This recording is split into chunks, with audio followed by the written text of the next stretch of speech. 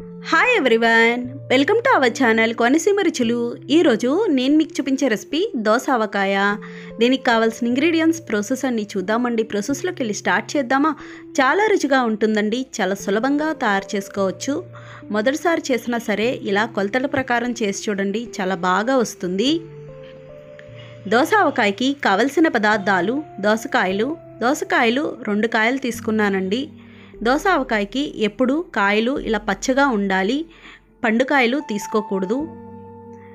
ఇలా కాయల్ని బాగా కడిగి తడి లేకుండా ఆరబెట్టుకోవాలి. ఆరిన తర్వాత ఇలా కట్ చేసుకోవాలి.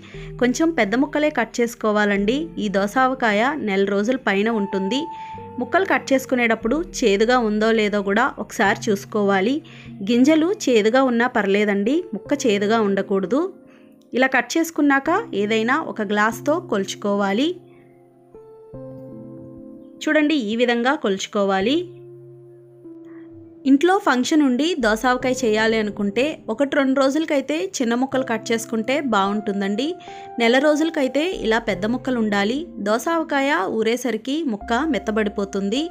చూడండి ఇలా కొలుచుకున్నాం కదా మూడు గ్లాసులు అయినాయి ఒక మిక్సీ జార్ తీసుకొని అరకప్పు ఆవాలు వేసుకొని చాలా మెత్తగా మిక్సీ పట్టుకోవాలి. చూడండి ఈ విధంగా ఉండాలి.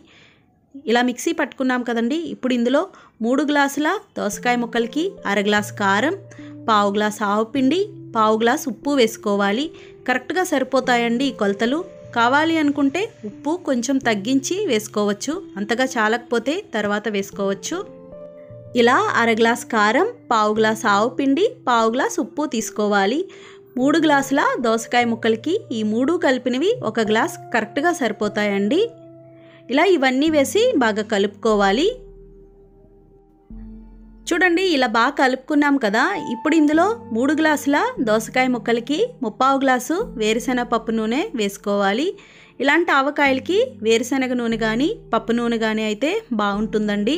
ఒకవేళ లేకపోతే మామూలు నూనె అయినా వేసుకోవచ్చు. ఇలా నూనె వేసుకొని బాగా కలుపుకోవాలి. దోస ఆవకాయకి నూనె ఎక్కువ పట్టదండి. అంతా నీరే కదా బాగా ఊరుతుంది. దోస ఆవకాయ ఉదయం కలుపుకుంటే సాయంత్రానికే ఊరుతుంది. రెండవ రోజుకి ఇంకా బాగుంటుంది. ఇలా మూత పెట్టేసుకొని రెండవ రోజుకి ఇలా ఉంటుంది. చూడండి చక్కగా ఊరింది. ఇప్పుడు ఒకసారి కలుపుకొని ఇందులో ఉప్పు తగ్గినా కారం తగ్గినా వేసుకోవచ్చు. తడి తగలకుండా ఉంటే నెల రోజుల పైనే ఉంటుందండి. ఏదైనా డబ్బాలో కానీ జాడీలో కానీ పెట్టుకుంటే పాడవకుండా ఉంటుంది. చూసారు కదా ఫ్రెండ్స్ ఎంతో సులభంగా దోస ఆవకాయ తయారు చేసుకున్నాం. ఒక్కసారి ట్రై చేసి చూడండి ఫ్రెండ్స్ చాలా బాగుంటుంది. నచ్చిందండి ఈ వీడియో మీకు నచ్చితే లైక్ చేయండి షేర్ చేయండి కామెంట్ చేయండి. Thank you for watching bye